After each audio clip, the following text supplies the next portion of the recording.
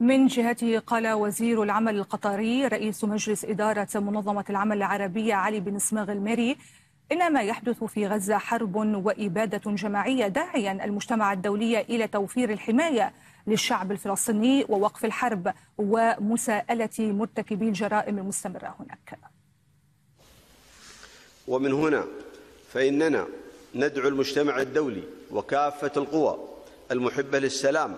إلى العمل على توفير الحماية اللازمة للشعب الفلسطيني الأعزل ووقف هذه الحرب الجائرة فورا ومساءلة